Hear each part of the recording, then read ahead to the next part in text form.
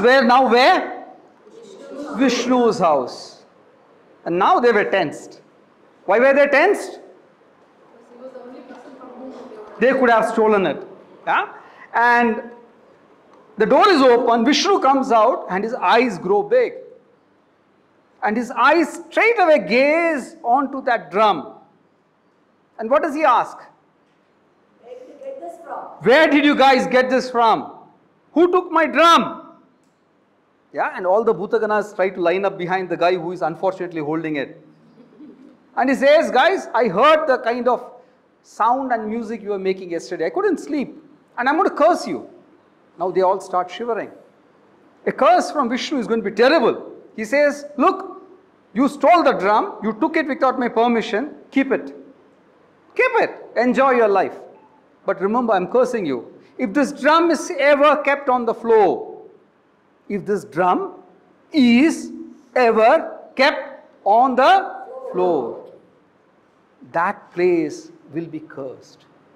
That place will be cursed. cursed. And that's the story of this drum. Yeah? So this drum is always suspended from the ceiling, even at home or at temple. Yeah? Can you can you see the colored balls? How many do you have? Can somebody count? Can you just count again? It is 8. She is the closest. 8. Yeah? 8 into 2. 8 into, if you look at it, each stick has two or two sets of them. So how many? So 16 times 4. What is the connection to Shiva? Shiva is supposed to have had 64. What is the connection to the story? Who was the highest count in the story? Thank you. Who said? oh, Yeah, I think she mentioned it first. These each of these ball represents each Bhutagana of Shiva. So we have 64 balls. Yeah, and this drum has four sticks which hold the uh, colored balls or the Bhutaganas. These represent the four sciences or the four Vedas of uh, Indian mythology. You can see these six holes. They represent the science of uh, ancient Hinduism. And this drum is very unique. What do you see here?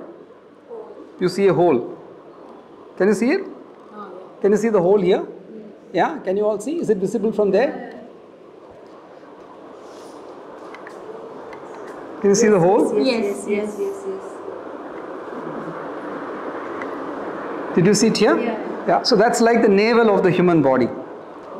Yeah, so this drum is uh, actually it comes from Karnataka. So if you go to Halebeedu and Belur, I don't know how many of you have been there, you can see a lot of uh, sculptures, human sized sculptures with this drum.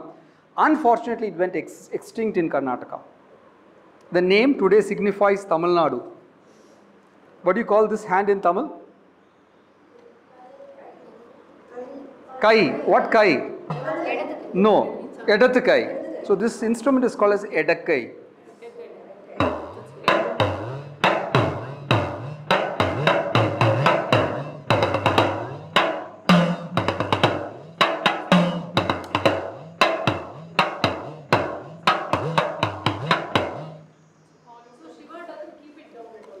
So this is actually used in the uh, temples, always kept suspended.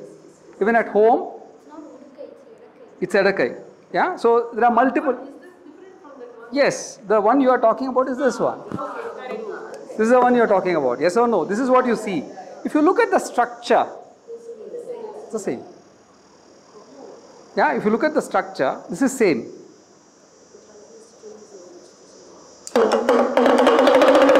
Come again. Same same principle. Yeah. Here you squeeze the string to change the tone. Here you press on the cylinder to change the tone. Yeah. So the, the system is pretty same. And there are three or four brothers in this category. So this is what you see with Shiva. Yeah. Can you see this drum? This is the next category of the same drum. Can you see the uh, center of this drum? it also has the same uh, structure where it, where it comes down. So all these drums play on the same structure. You, you are, yeah, come again. This is not paper, yeah. So just to give you some background, let me just show you both the drums. All of you can turn around. Please turn around. Can you see the light coming through? Yes. Yeah. So these are not leather. These are not leather. These are the urinary bladders of ungulates. When I say ungulates, it could be any herbivore. So this is urinary bladder of any herbivore. It is not the outer uh, leather. So that's just to give you some background. So I gave you a mythological story. Now I'm going into a corporate story. Yeah. So I'll, I'll give you a corporate story and then uh, take you through one by one.